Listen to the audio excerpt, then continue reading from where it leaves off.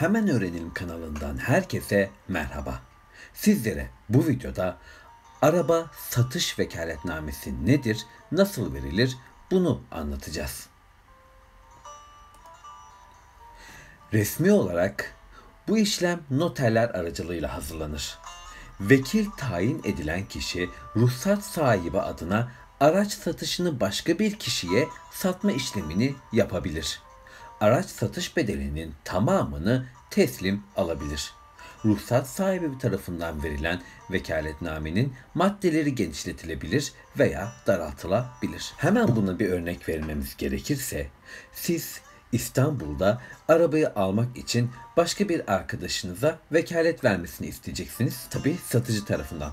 Satıcı bu işlemin iki gün içerisinde yapılmasını isterse bu işlem daraltılmış işlem oluyor.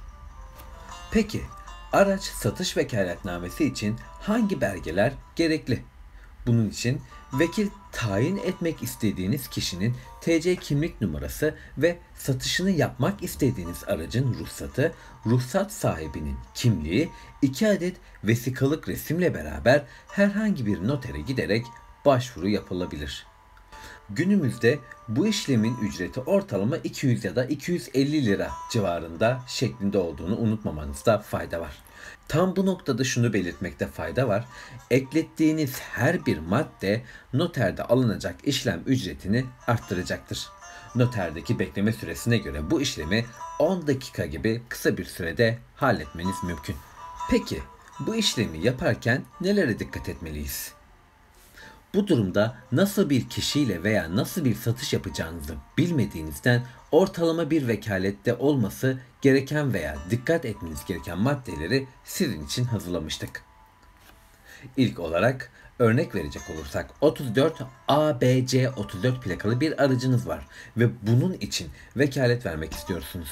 Bu durumda vekalet vermek istediğiniz kişi kurum veya kişi ise vekaletnamede aracınızın plakasını ekletin sıfır vekaletle adınıza kayıtlı başka bir araç hakkında işlem yapılması gibi bir durum söz konusu olabilir. Vekaletnamenize mutlaka süre ekletin. 10 gün ya da 15 gün ya da 1 ay gibi süreleri bulabilir. Bunu da aracınızı satacağınız kişiyle netleştirerek karar verebilirsiniz.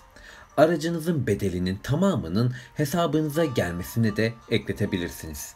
Bu işlemden hemen sonra takas yapanlar hariç olmak üzere bu işlemi bu söylediğim şekilde gerçekleştirmesi gerekiyor. Vekalet verdiğiniz kişi sizin adınıza başka bir kişiye vekalet vermesi gibi bir madde var. Ona da dikkat etmenize fayda var. Yani siz aracınızı A kişisine vekalet verdiğiniz o da gitti B kişisine vekalet verdi derken ortada bir mağduriyet oluşabilir. Buna da özen göstermenizde fayda var. Sizlere bu videoda alıcı ile satıcının bir araya gelmeden vekalet aracılığıyla nasıl satışı gerçekleştirileceğini anlatmaya çalıştık. Umarım video içeriğimiz sizler için faydalı olmuştur. Eğer videomuzu beğendiyseniz lütfen videomuzu beğenmeyi ve kanalımıza abone olmayı unutmayın.